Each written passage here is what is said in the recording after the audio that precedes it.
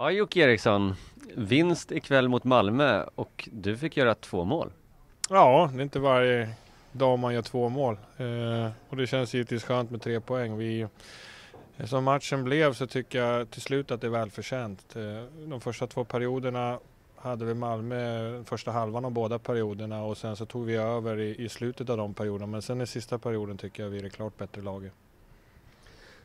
Stefan Nyman sa på presskonferensen att det, det var ingen snack i tredje. Han tyckte även i slutet av andra perioden att ni tog över. Var det samma känsla för dig? Ja, men jag tycker orkesmässigt kändes det som att i slutet på andra så, så, började de gå lite på knäna i takt med att vi lyckades få lite längre anfall på dem och komma ner deras zon. De ägde ju matchbilden i början, eller första 10-15 minuterna i andra perioden. Och sen i tredje perioden fortsatte vi på det, det mantrat och i, det mönstret att vi lyckades komma ner i deras zon, fick med oss ett par powerplay och gjorde deras backar ännu tröttare och därav så kom ju lite spelmässiga missar från dem när de hade pucken som vi utnyttjade. Om vi tar då 3-1 målet då, du hittar Andreas Englund med en mm. snygg pass, berätta!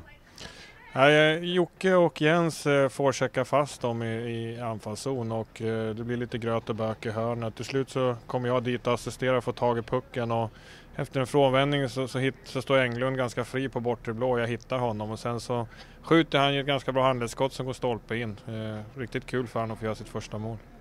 Du är nästan dubbelt så gammal som honom. Är det kul när just en så ung spelare får göra sitt första mål i Djurgårdströjan? Ja, givetvis är det kul att se unga spelare både göra mål och ta för sig och utvecklas. Jag har sagt det förut i några intervjuer att det, det är en riktig kick att som en gammal spelare ge dem tips och de tycker det är kul att få tips och tar till sig. Man ser dem utvecklas och bli bättre hela tiden. Det, ja, det är en egokick. Och det fjärde målet eh, var ju en riktigt god bit. Ja, nästan samtliga mål i sista perioden föddes ju av att vi vinner puck i anfallszon och då är de givetvis oorganiserade. Likaså på fjärde målet, då är det eh, Jocke Hagelin som får checka fast och lyckas vinna pucken och den studsar ut till mig och sen så spelar han i sidled till honom och får tillbaka den och skjuter direktskott då i, i, i, den öppna delen av målet som är kvar eftersom målvakten var tvungen att förflytta sig i sidled när jag passade. Och det sista målet som du gjorde, det var ju ungefär, du fick pucken i nästan samma position? Ja, men då hade jag ingen att passa sidled till så då sköt jag ganska snabbt och fort själv istället högt. Och, eh, ja, han eh, hann inte komma ut och möta mig så mycket och därigenom fanns det ganska mycket yta i mål att skjuta på. Du kanske hade ett psykologiskt övertag mot målvakten också?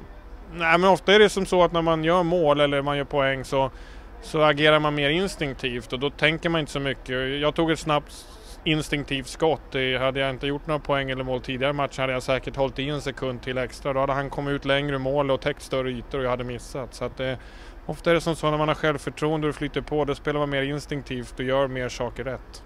Och hur känns det att vara lite av en poängkung nu då?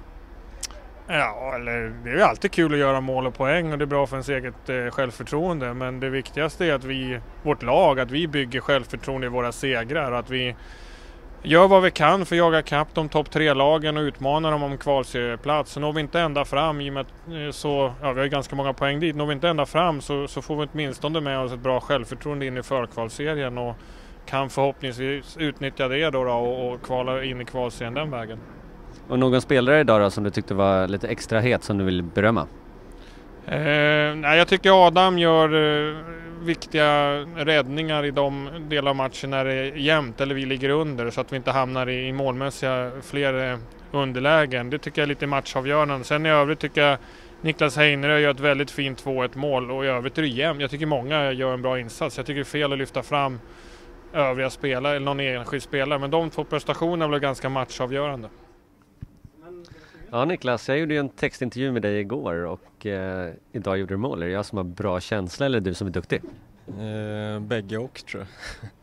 Nej men eh, fick ju göra ett mål förra matchen också. Då får man lite självförtroende och nu har jag två mål i två raka matcher så det är jätteskönt. Hur gick tankegången då i just det anfallet? För ni låg ganska högt upp och pressade och du låg och fiskade också. Ja, det är väl eh, deras back som fipplar lite med pucken och eh, jag får den gratis och eh, försöker runda keepern bara och lägger in den. Och Sjögren i målet då, han la sig ner också? Ja, nej men det, är, det är skönt. Jag vickar lite skottfinta och så la, la han sig ner och jag rundar den och lägger in den i öppen kasse. Men var det inte en ganska svår vinkel? Från min sida såg det i alla fall ut som att det var en ganska svår vinkel att lägga in pucken från. Eh, nah, det fanns en ganska bra lucka faktiskt. Och i övrigt då, hur gick det spelmässigt för dig idag tycker du? Jo, det, det känns bra tycker jag. Eh, hela laget gör en riktigt bra match. Jag tycker vi maler ner dem i 60 minuter faktiskt. Eh, de orkar ju inte ser man. Eh, de kommer ut ganska bra men sen tar vi över och åker mycket skridskor och får, får längre anfall på dem. Det var väldigt många som har sagt, sagt just det efter matchen att Malmö inte riktigt orkade. Är det, är det på grund av utvisningarna eller var det så att ni var fysiskt starkare där? Eh, såklart, de blir ju nedpressade när det blir mycket boxplay men eh, vi sa innan matchen att vi skulle, de har rätt stora tunga backar så vi, vi skulle utnyttja våran eh, fart och eh, det gjorde vi bra och lyckades eh, mala ner dem. Så många små kvicka forwards är ett bra recept mot eh, storväxta backar kanske? Ja, jo men det verkar så.